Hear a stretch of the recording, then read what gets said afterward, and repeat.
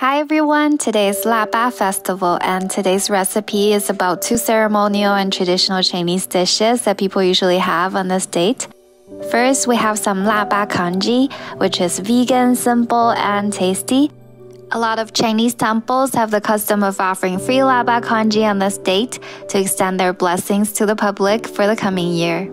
So today, let's make some Laba Congee at home to celebrate the festival.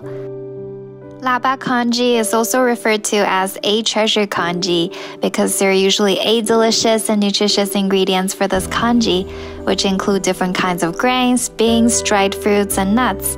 Today, we're using 12 of the most commonly used ingredients for this congee, but you can just use a few of them or any combination of the ingredients.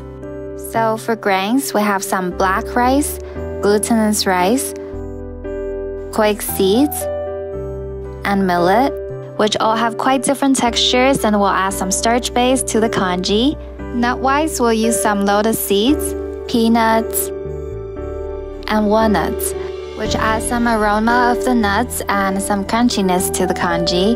For beans, we have some kidney beans, mung beans, and red beans. You can also use the canned beans to speed up the cooking process.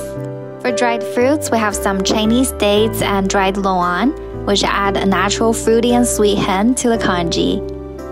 So we've got our ingredients ready. First step is to soak them. Let all the grains, nuts, and beans soak overnight or approximately 8 hours so it will be easier to cook them thoroughly later. After one night, you can see that they have all soaked up the water, become plump, and expanded in size. Now we can move on to step 2 cook the congee.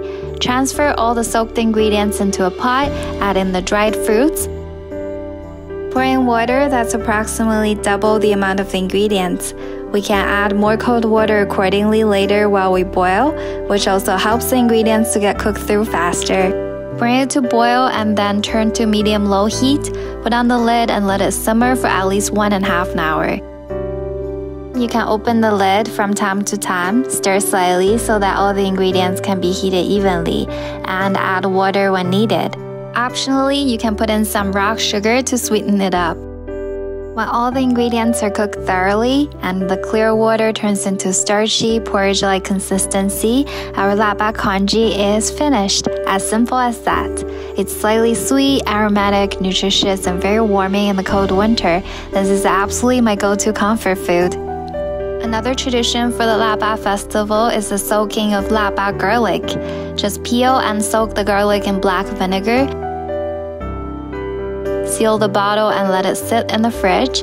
After 20 days around Chinese New Year, those garlics will gradually turn green and will then be consumed alongside the Chinese dumplings and noodles. They are sour and spicy, perfect condiments to those dishes. Hope you like the Laba congee and Laba garlic recipes and happy Laba festival. Stay tuned for more simple and delicious Chinese food recipes.